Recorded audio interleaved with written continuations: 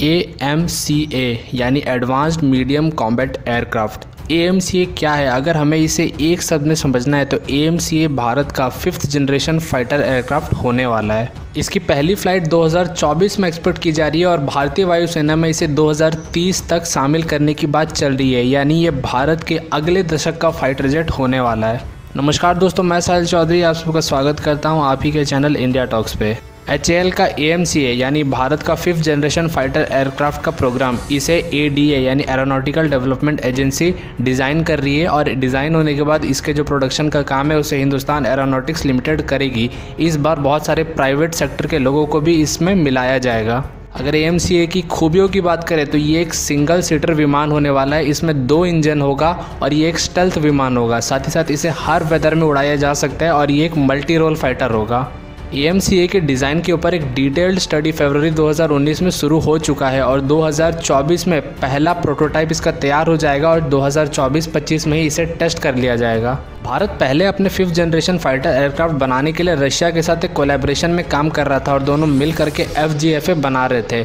लेकिन रशिया ने जो इम्पोर्टेंट टेक्नोलॉजी से उसे भारत को देने से इनकार कर दिया। यानी पैसे देने के बावजूद भी रशिया जो इम्पोर्टेंट टेक्नोलॉजी है, वो ट्रांसफ़र नहीं कर रहा था। इसीलिए भारत ने जो एफ़ जी एफ़ ए का प्रोग्राम है, उसे बीच में ही छोड़ दिया और फैसला किया कि भारत अब अपने दम पर अपने टेक्नोलॉजीज़ डेवलप करेगा, एक फिफ्थ जनरेशन फाइटर एयरक्राफ्ट को बनाएगा। भारत के F G F A programme छोड़ने के बाद air staff R K S Bhadauria का ये बयान भी आ चुका है कि डीआरडीओ को किसी भी हालत में इस प्रोजेक्ट को पूरा करना होगा। यानी कि जो इम्पोर्टेंट टेक्नोलॉजीज़ रूस भारत को नहीं देना चाहता है, उसे अब डीआरडीओ को ही अपने लेबोरेटरीज में तैयार करना होगा और भारत की जो एजेंसीज इसे बना रही है, उनको सौंपना होगा इन टाइम ताकि इन सारे टेक्नोलॉजीज़ को इसके अंदर इंटीग्रेट किया जा सके और एक खतरनाक फाइटर जेट बनाया जा सके। इंडियन एयरफोर्स ने अब ठान लिया कि वो किसी बड़े देश का मुँह नहीं देखेगी, वो फुल कंट्रोल चाहती है अपने सारे टेक्नोलॉजीज़ के ऊपर। इसीलिए अब ऐसा सुनने में आ रहा है कि इंडियन एयरफोर्स को और बाकी जितनी भी एजेंसीज है, इससे जुड़ी हुई, उनको ये अल्टीमेटम दे दिया गया है कि उन्हें किसी भी हालत में 2024 तक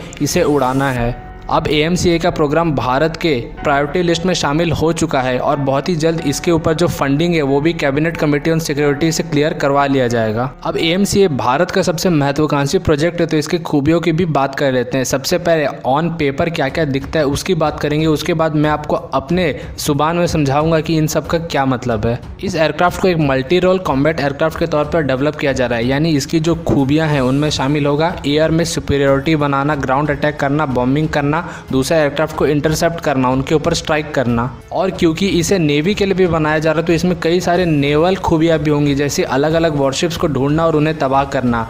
इस एयरक्राफ्ट की जो सबसे खास बात होगी वो ये कि इसमें सुपर क्रूज और स्टेल्थ टेक्नोलॉजी दोनों ही मौजूद होंगे। आप जानते हैं स्टेल्थ टेक्नोलॉजी अमेरिका की महारत है। इसमें कोई एयरक्राफ्ट रेडर क्रॉस सेक्शन से बच जाता है और जो सुपर क्रूज करने की क्षमता है, वो रशिया की महारत है। ये जो विमान होते हैं, जैसे सुखोई, ये काफ़ी अच्छे से मूव और टर्न कर सकते हैं और इनका थ्रस्ट वेट रेशियो बहुत अच्छा होता है। पर भारत अपने एएमसीए में इन दोनों खूबियों को मिला देगा, यानी बेस्ट ऑफ़ ईस्ट और बेस्ट ऑफ़ वेस्ट को मिला करके सबसे बेहतरीन फाइटर जेट बनाएगा। इसके साथ साथ इसमें एडवांस्ड एसा रेडर लगा होगा और इसमें डेटा फ्यूजन की क्षमता होगी और बहुत ही एडवांस्ड एवियोनिक्स होगा जो किसी भी प्रीवियस जन के फाइटर एयरक्राफ्ट को दबा सकता है, उन्हें मार गिरा सकता है। भारत का एएमसीए भारत के तेजस, सुखोई थर्टी और रफेल के साथ कंधे से कंधा मिला के इंडियन एयरफोर्स में सर्व करेगा 2030 के बाद। और इंडियन नेवी में ये एचएएल नेवल तेजस और मिकोयान मिक 29 के के साथ मिल करके सर्विस देगा।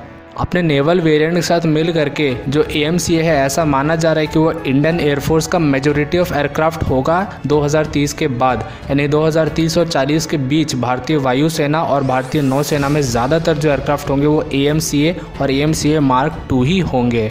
आपको एक और बात बता दूँ कि AMCA भारत द्वारा डेवलप किया गया तीसरा सुपरसोनिक जेट होगा। भारत ने जो पहला सुपरसोनिक जेट बनाया था, वो था एच एल मारुत वो 1960 में ही बना लिया गया था। उसके बाद आया एच एल तेजस इसके बाद AMCA तीसरा सुपरसोनिक जेट है इंडियन ओरिजिन का। अब ए की खूबियों पे आएँ तो आप एक बार जानते होंगे कि AMCA के साथ साथ भारत अभी दो और फाइटर प्रोजेक्ट्स पे काम कर रहा है। तेजस मार्क वन है और तेजस मार्क टू आपके लिए ये सब बहुत कंफ्यूजिंग होगा। Tejas mark one one eight, two M C A आपको समझ नहीं आ रहा होगा इन सब में से किसका क्या रोल है। तो मैं सोच रहा हूँ कि आपको नेक्स्ट वीडियो तेजस के ऊपर बना दूँ, जिसमें मैं आपको तेजस वन वन ए और मार्क टू के बीच का फ़र्क समझा दूँगा।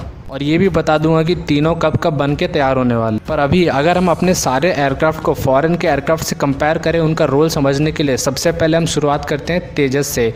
जो एचएएल तेजस था, उसे कंपेयर किया जा रहा था, उसको जो श्रेणी दिया जा रहा था, वो पाकिस्तान के जे एफ़ के साथ दिया जा रहा था। यानी ये दोनों एक ही श्रेणी में आते हैं। हालाँकि जो भारत का एच एल तेजस है, वो टेक्नोलॉजी के मामले में काफ़ी ज़्यादा एडवांस्ड है जे एफ़ सेवेंटीन से। जो भारत का एच एल तेजस है, वो मिग ट्वेंटी वन को रिप्लेस कर रहा था। ये दोनों ही लाइट वेट के एयरक्राफ्ट माने जाते हैं। और मिग ट्वेंटी वन की ही तरह जो एच एल तेजस है, उसका काम होगा भारत में जो एयरक्राफ्ट है, उनके क्वान्टिटी को बढ़ाना। क्योंकि क्वालिटी के साथ साथ एयरक्राफ्ट की क्वांटिटी भी बहुत इंपॉर्टेंट है। तो ये जो सस्ते दाम के एयरक्राफ्ट हैं, इनका काम है कि ज़्यादा क्वांटिटी में प्रोड्यूस होकर के भारत को एक एयर प्राइम प्रोटेक्शन देना। शांति काल में इनका फ़ंक्शन होता है कि हवाई सीमा की सुरक्षा करना और दुश्मन के किसी भी फाइटर जेट को इंटरसेप्ट करना।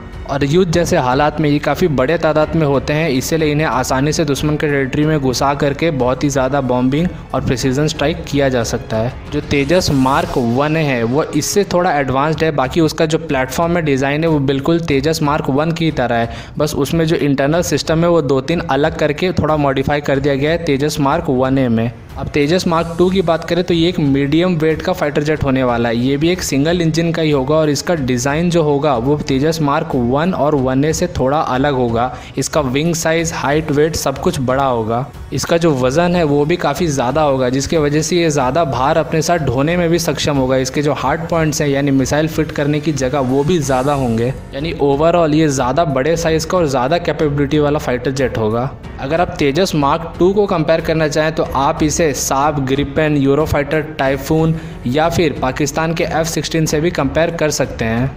भारत इसे इस तरीके से बना रहा है कि ये सुखोई जैसे विमानों का जगह लेगा फ्यूचर में जा कर के और उन्हें टक्कर देगा। और इसके बाद अगर हम अपने ए एम सी ए पे आ जाएँ तो हमारा जो ए एम सी ए है, क्योंकि ये फिफ्थ जनरेशन फाइटर एयरक्राफ्ट होगा, इसीलिए ये दुनिया के जो सबसे top of the line aircraft हैं, F twenty two, F thirty five, इन सबको टक्कर देगा। ए प्रोग्राम को पहले लाया गया था भारत के डसॉल्ट मिराज 2000 और जैगुआर साथ ही साथ मिग 27 जो विमान है और फ्यूचर में मिग 29 को रिप्लेस करने के लिए एक ऐसा एयरक्राफ्ट ढूंढा जा रहा था जो इन सब की जगह ले पाए। पर बाद में धीरे धीरे भारत का जो F G F A programme था वो पीछे हटने लगा। इसीलिए भारत ने ये तय किया कि वो जो अपना पूरा फोकस है वो ए एम सी ए के ऊपर लगाएगा और ए एम सी ए को एक फिफ्थ जनरेशन फाइटर एयरक्राफ्ट बना देगा। एक ऐसा एयरक्राफ्ट बनाएगा जो कि स्टल टेक्नोलॉजी से लैस होगा और दुनिया के जो सबसे बेहतरीन एयरक्राफ्ट है उनको ये टक्कर दे पाएगा। यानी भारत के जो एयरफोर्स की प्रायोरिटी लिस्ट है उसमें अभी सबसे ऊपर ए एम सी ए है और सबसे जो एडवांस फाइटर जेट भारतीय वायुसेना अभी एनविजन कर पा रही है, वो ए एम सी ए ही। ही। है ए और तेजस के आ जाने के बाद हम ये उम्मीद कर सकते हैं कि 2030 के बाद से भारतीय वायुसेना अपने जितने भी डिफेंस प्रोक्योरमेंट्स हैं, वो भारत से ही करेगी। यानी सिर्फ़ भारत में बने हुए फाइटर जेट्स का ही इस्तेमाल करेगी। 2030 के बाद से कोई भी विदेशी फाइटर जेट को खरीदा नहीं जाएगा। तो दोस्तों, उम्मीद करता हूँ कि आपको आज का ये वीडियो AMCA के ऊपर अच्छा लगा होगा। अगर अच्छा लगा तो जल्दी से आके हमें लाइक दे दो और इस वीडियो को शेयर कर दें अपने व्हाट्सएप और फेसबुक के दोस्तों के साथ। हमने हमारे नए चैनल बलिदान के ऊपर सुखोई का एक वीडियो अपलोड किया है, जिसे देखने के लिए आप डिस्क्रिप्शन में जाके क्लिक कर सकते हैं दिए गए लिंक पर। और ऐसे ही वीडियोस देखने के लिए इंडिया टॉस को सब्सक्राइब कर लें। तो मिलते हैं अगले वीडियो में, तब तक के लिए थैंक्स फॉर वॉचिंग